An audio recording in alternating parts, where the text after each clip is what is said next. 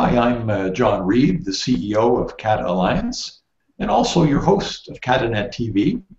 And we're very pleased this morning to have direct from Russia Bill Hutchison, uh, a, a, senior member of Canada's tech community, a creator of businesses, and someone who's going to share insights on how we can accelerate digital adoption in Canada.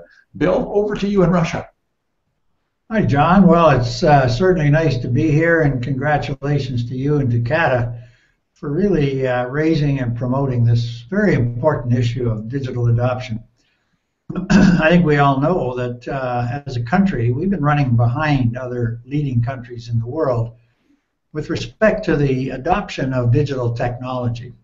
And this is not a new thing. This has been going on for quite a while. Uh, in fact, almost for 50 years that I've been in the computer industry. Uh, but it's a serious issue. And I think one of the uh, questions that you're interested in is uh, what can we do to uh, to try to stimulate this? Uh, is that correct? Yes, we were looking for. I almost want to call it the magic formula, but usually it, it, it's more than one one thing. How can we really drive Canada to first place in terms of digital adoption and innovation? Are there some keys here that we should consider?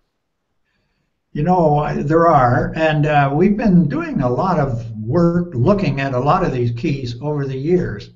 Uh, we've been very concerned uh, nationally that uh, even the enrollment of uh, young people into engineering and the sciences and computer science uh, has been not as high as we'd like. And women, greater proportion of women in these fields would be very helpful in driving this, we think. So we've been doing many things over the years and having campaigns, but the fact is we're still running behind other countries. Now, there is a new initiative and uh, some new opportunity. The uh, fact is we're, we're now starting, if you like, to automate society and the way we live. Um, we've been automating banks and manufacturing and all kinds of things for many years. But as the cost of computing has gone down and the performance has gone up, we now have smartphones. We've got computers on wheels that we call cars. They're in our cameras.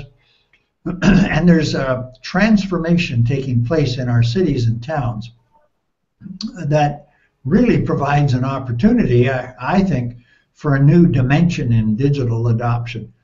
It's what we call the move to smart cities or intelligent communities, two of the broad names used. And that really has to do with the use of technology to not only transform the way government services are delivered, but to transform the way healthcare is delivered, uh, to provide new forms of collaboration uh, in education, and in fact, to uh, provide new forms of collaboration throughout society that in turn will stimulate innovation.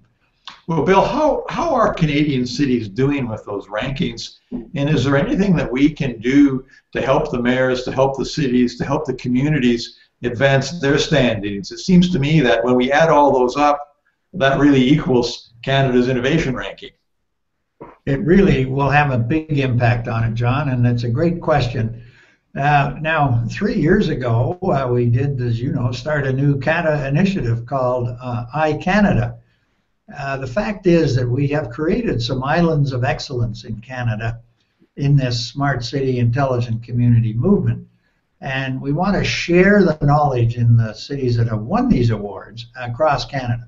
And so iCanada was created to help uh, collaborate, to bring communities together, to share the ideas. The mayors of the winning cities, places like Fredericton, Stratford, Waterloo, Calgary, are very much on board at sharing these ideas. And uh, Waterfront Toronto revitalization is really owned by all Canadians because there are three governments that own a third each of the Waterfront Partnership, and that's one of the world's biggest revitalization programs. So iCanada was created to facilitate a coming together and a sharing of ideas. There are now more than 70 cities and towns uh, working to uh, through iCanada to compete internationally on the awards.